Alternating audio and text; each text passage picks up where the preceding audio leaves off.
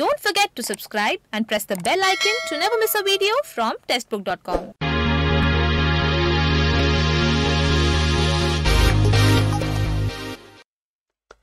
नमस्कार, स्वागत है आपका टेस्टबुक.com में अभी कुछ दिन पहले ही AFCAT one two batch का जो नोटिफिकेशन है, वो रिलीज़ हुआ था फ्लाइंग ब्रांच और ग्राउंड ड्यूटी टेक्निकल और नॉन टेक्निकल ब्रांच और एनसीसी स्पेशल एंट्री के लिए। और इसके जो रजिस्ट्रेशन है, वो स्टार्ट हो चुके हैं एक दिसंबर 2021 से और 30 दिसंबर 2021 जो है, वो लास्ट डेट है अप्लाई करने की। और एग्जामिनेशन जो है, वो आपका फरवरी के महीने में कंडक्ट हो सकता है। टेंटेटिव डेट है।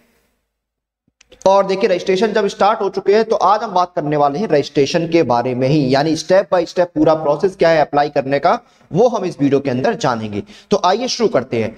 सबसे पहले ये देखिए डायरेक्ट लिंक है। यहाँ पर आप जाकर अपना रजिस्ट्रेशन जो है वो कर सकते हैं अप्लाई कर सकते हैं। इस पर आप जाइए। तो यहाँ पर देखिए आपको क्या करना है।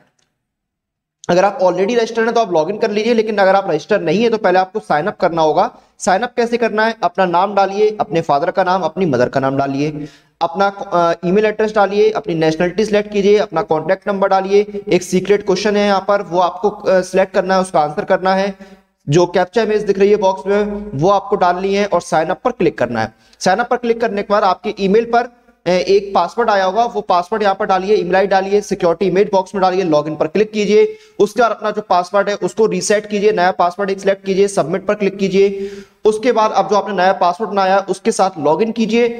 और अब देखिए यहाँ पर ये आपका पेज ओपन हो गया है एप्लीकेशन फॉर्म का one two twenty two select exam category आपने एग्ज़ाम कैटेगरी सिलेक्ट करनी है, जैसे एफ़ कैट यहाँ पर सिलेक्ट कर लिया है मैंने तो इंस्ट्रक्शन पर क्लिक कीजिए। इंस्ट्रक्शन पर क्लिक करेंगे इंस्ट्रक्शंस को रीड कर लीजिए स्क्रॉल करके नीचे आइए टर्म्स एंड कंडीशन को रीड कर लीजिए, आइए रीड गाइडलाइंस वगैरह है, जो है, उस पर टिक कीजिए सेव एंड कंटिन्यू पर क्लिक कीजिए। सेव एंड कंटिन्यू पर आपको क्लिक करना है।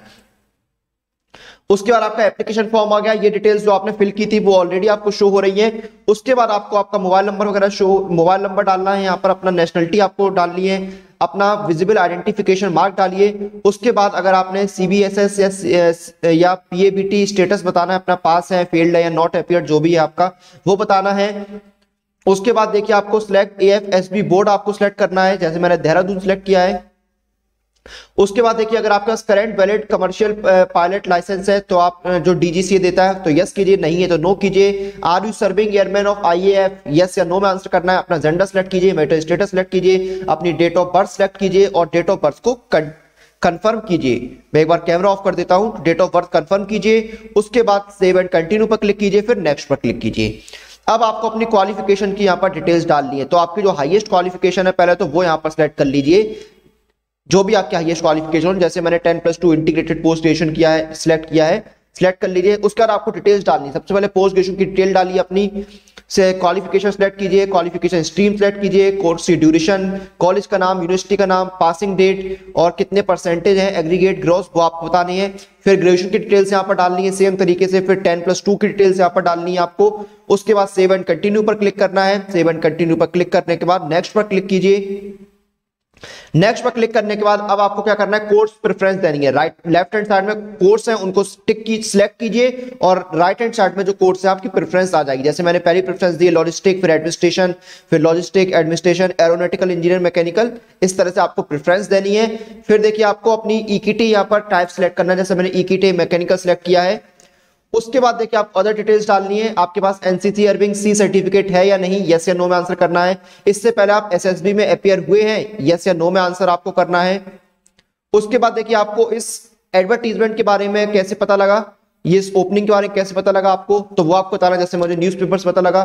फिर अगर आप गेट के लिए अपेयर हुए तो यस कीजिए। नहीं हुए तो नो कीजिए। अगर यस करते हैं तो ईयर बताइए और अपना जो परसेंटेज है वो बताना है आपको गेट स्कोर कार्ड के हिसाब से। सेव एंड कंटिन्यू पर क्लिक करना है। फिर नेक्स्ट पर।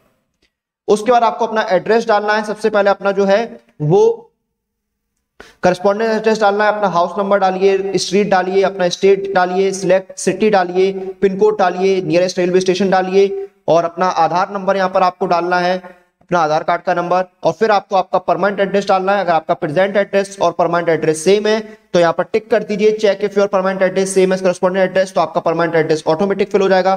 फिर सेव एंड कंटिन्यू करना है और नेक्स्ट पर क्लिक करना है।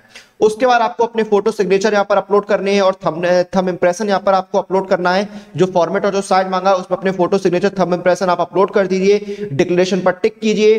सेव एंड कंटिन्यू फिर नेक्स्ट पर क्लिक कीजिए। और देखिए, मैंने अपने फ़ोटो सिग्नेचर को रिसाइज किया इस free photo cropping and resizing tool के ज़रिए। अगर आपको भी अपने फ़ोटो सिग्नेचर को रिसाइज करना है तो इस टूल का लिंक जो है, वो आपको डिस्क्रिप्शन में मिल जाएगा, जिससे आप अपने फ़ोटो सिग्नेचर को रिसाइज कर सकते हैं।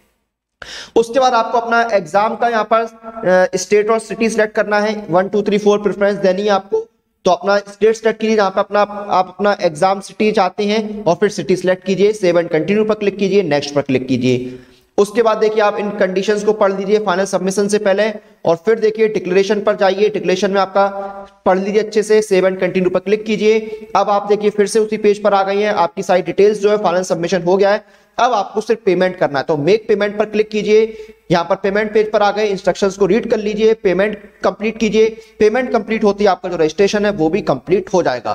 तो ये सिंपल सा स्टेप बाय स्टेप पूरा प्रोसेस था। एफ़ कैट वन टू में अप्लाई करने का, जिसके रजिस्ट्रेशन एक दिसंबर से स्टार्ट हो चुके हैं और तीस दिसंबर दो हज़ार इक्कीस लास्ट डेट है अप्लाई करने की।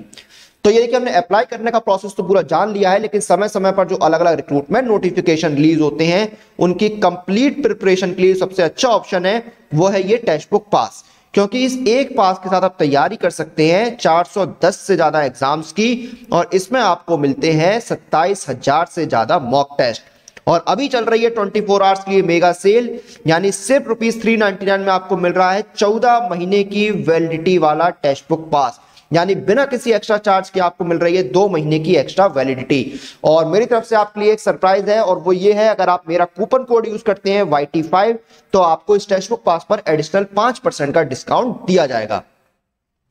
तो इसी के साथ इस वीडियो और जानकारी को हम यहाँ पर समाप्त करते हैं। आप लोग अपनी एग्ज़ाम प्रिपरेशन और एग्ज़ाम रिलेटेड सभी अपडेट लिए टेक्स्ट बुक के साथ बने रहिए। Press the bell icon for all the latest update regarding your exam